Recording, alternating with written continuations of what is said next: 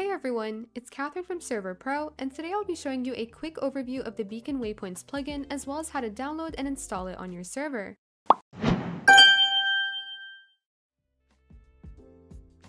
Beacon Waypoints is a plugin that gives beacons extra functionality by allowing players to use beacons to fast travel between them.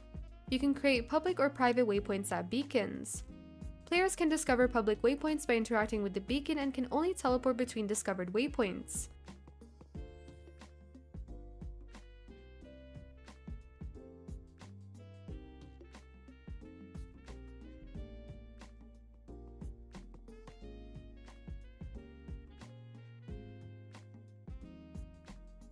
Using the slash waypoint command, you can create a public or private waypoint for the beacon the player is standing on.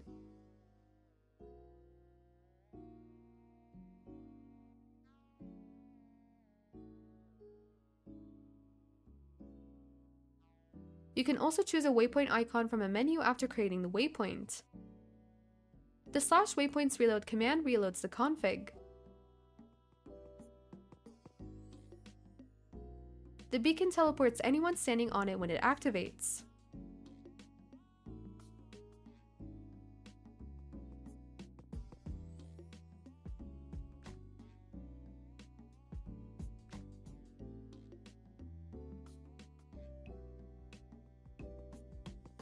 First, you're going to need to go to the plugin's website. You can find the link in the description below.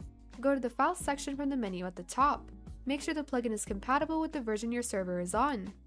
Go to the plugin version you want, then click the three dots to the right and click Download File. You will need to wait 5 seconds before it automatically downloads the file. Once that's done, we recommend dragging the file to your desktop so it's easier to find. Go to your service control panel. Make sure your server is set to Spigot or Paper and that you've selected a version that is compatible with the plugin. Before proceeding, make sure your server is offline. Next, head over to your Files section and open the Plugins folder. Now you want to drag and drop the plugin file into this folder. Then you can turn on your server and wait till it's online to see if the plugin has installed correctly. After doing so, head over to the Console tab to make sure your plugin is installed. You can see it's installed when it says Done near the bottom. Make sure there aren't any errors relating to the plugin.